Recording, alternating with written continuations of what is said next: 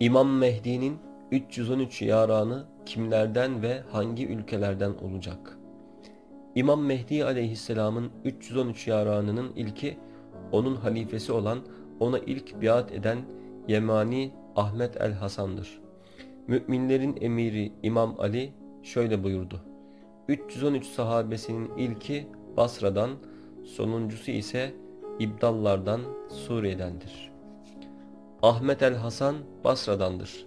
İmam Cafer el Sadık 12. imamın adamlarını sayarken dedi ki ve Basra'dan Ahmet. Mehdi'nin bakanı doğudan çıkar. Peygamberimiz sallallahu aleyhi ve sellem dedi ki ve doğudan gelecek olan Mehdi'nin bakanı Süfyani'ye karşı çıkacak ve Süfyani'yi Şam'da bozguna uğratacak.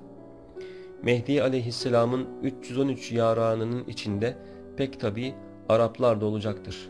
Bu kişiler Hazreti Mehdi'nin çeşitli bölgelerdeki komutanlıklarını üstleneceklerinden doğal olarak dünyanın çeşitli ülkelerinden ve şehirlerinden olacaklardır. Arap olmayacak diyenlere o zaman Arap ülkelerindeki komutalarda görevli kişi olmayacak mı diye de sormak gerekir.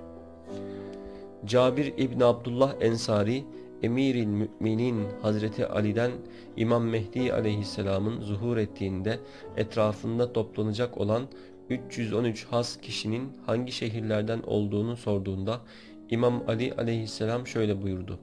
Mekke'den 4 kişi, Medine'den 4 kişi, Beytül Mukaddes'ten 4 kişi, Yemen'den 7 kişi, Mısır'dan